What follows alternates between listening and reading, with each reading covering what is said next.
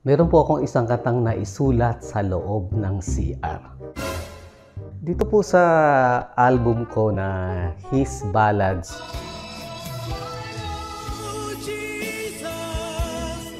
kaya lang may sinabi siya na medyo, medyo malakas yung dating nung comment niya. Nabuo yung idea at konsepto ng kantang For I Know Jesus sa loob po ng CR o ng restroom doon po sa Singapore.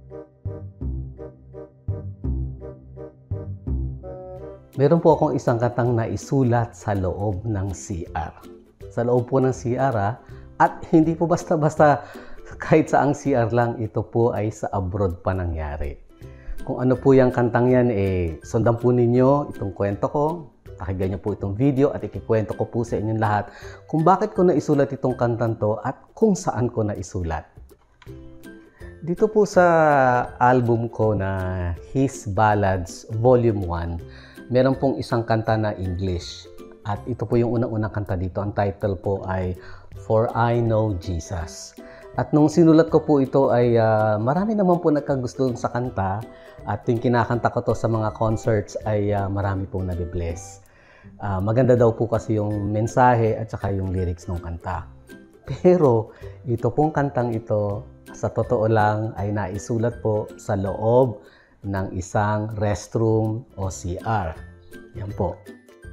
Nagumpisa po akong sumulat ng mga English songs noong 1990s.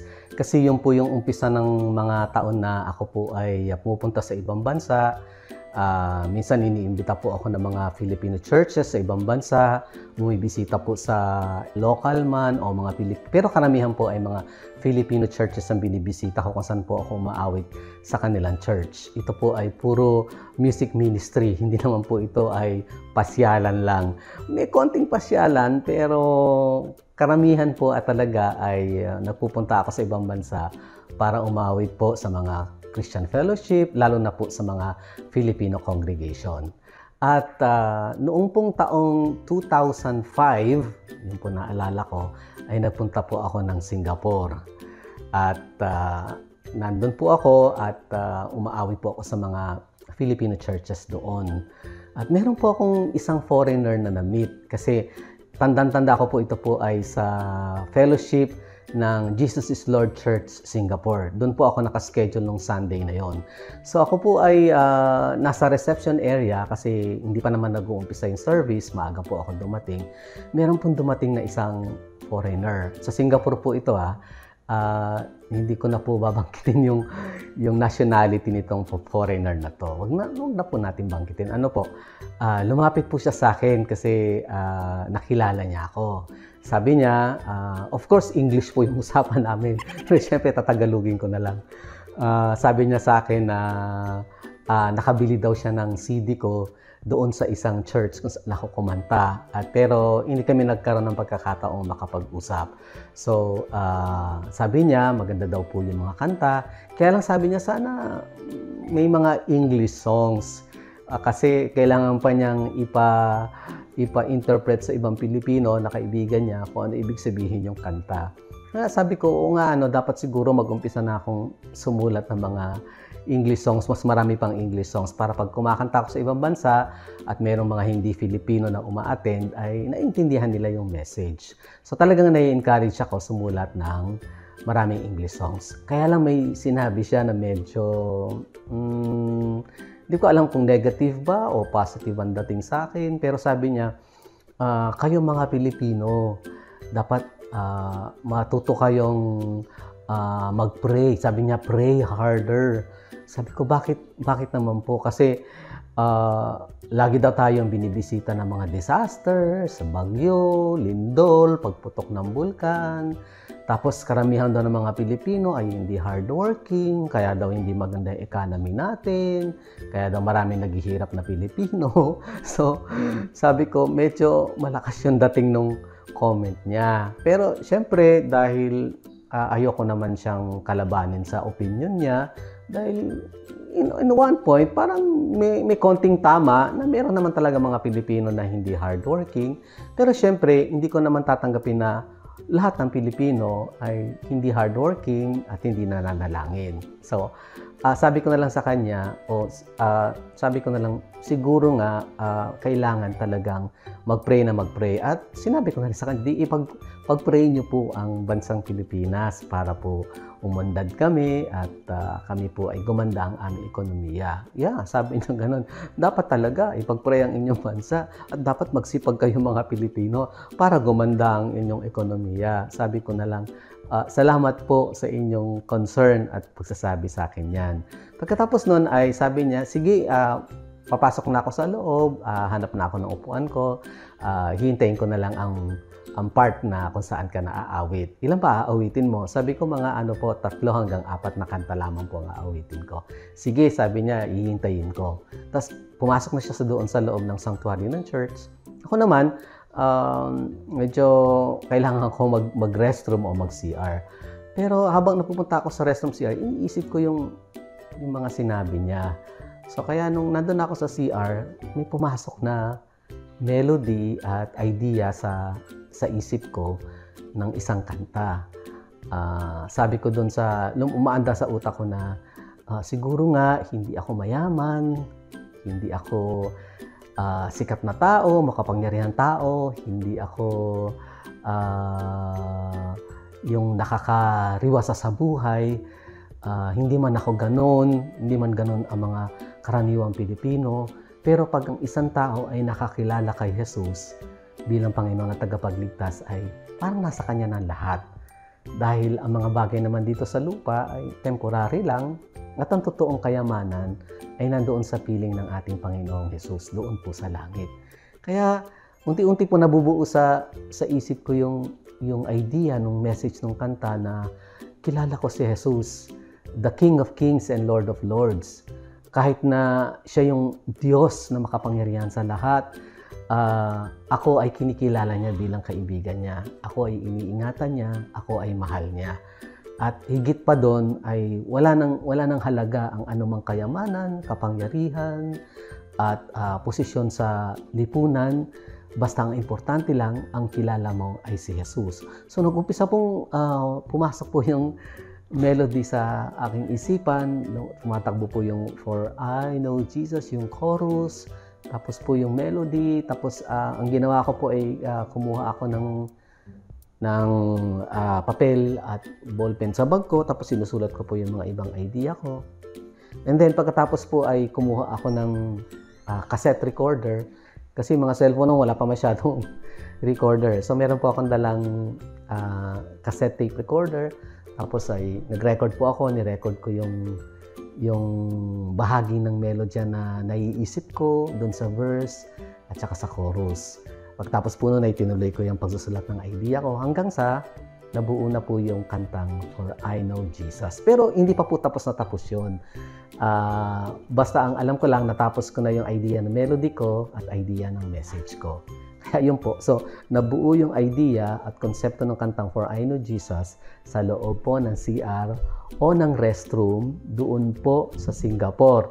At special mention po doon po sa sanctuary kung saan nagsiservice ang Jesus is Lord Church Singapore o JIL Singapore. Kaya nung nabuo ko na po yung idea, um, kampante na ako, hindi na yung mawawala sa akin. So, tsaka po ako nag-proceed at nag-attend po ng service at kinanta ko na po yung mga kanta ko. Pag uwi ko po dun sa tinutuluyan ko sa Singapore ay nilabas ko po yung idea ko, yung ni-record kong melody. Tapos, yun po, uh, pinalish ko siya, pinaganda ko, inayos ko yung lyrics, at doon po, natapos po yung kantang For I Know Jesus. At mula po noon, nung pag-uwi ko po ng Pilipinas, syempre po ay, uh, nung gagawin ko na po yung album na His Ballads, ay sinama ko po siya. At tapos po ay ang kinuha kong musical arranger ko that time is of course si Maestro Arnel Depano na palagi pong siya nag-aareglo po ng mga kanta ko noong 90s at noong early 2000. Siya po yung gumagawa ng mga minus one ko. So, siya po yung gumawa ng napakagandang minus one naman po nung, ano, nung kantang For I Know Jesus. And then, na-record po at nabuo po yung album.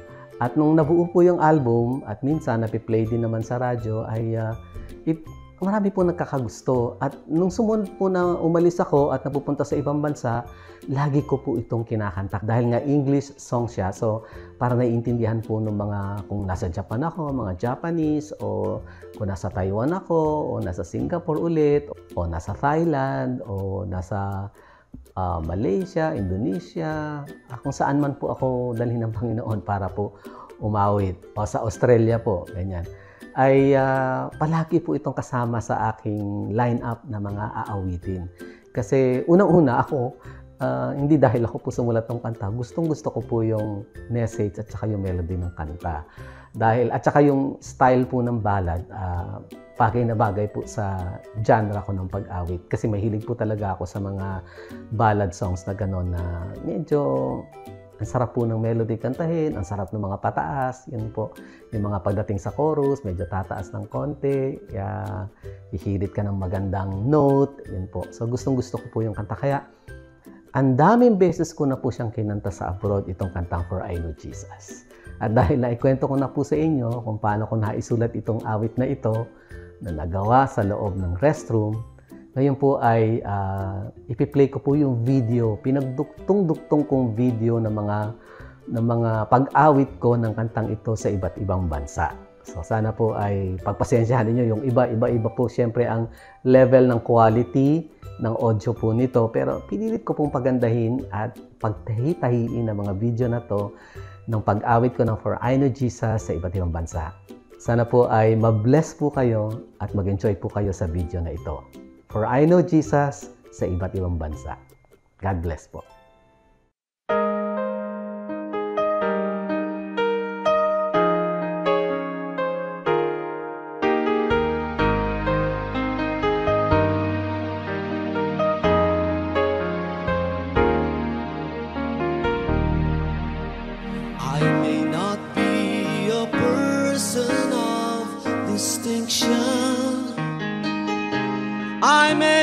May not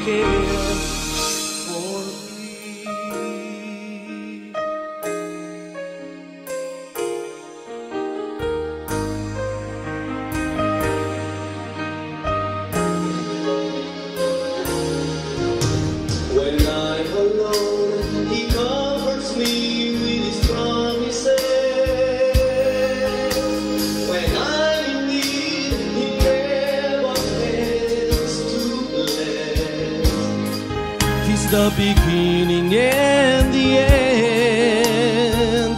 How could I comprehend the most holy one who reached and hold my hand? For I know Jesus, though He's the King of Kings and Lord of Lords, loves me, the Prince of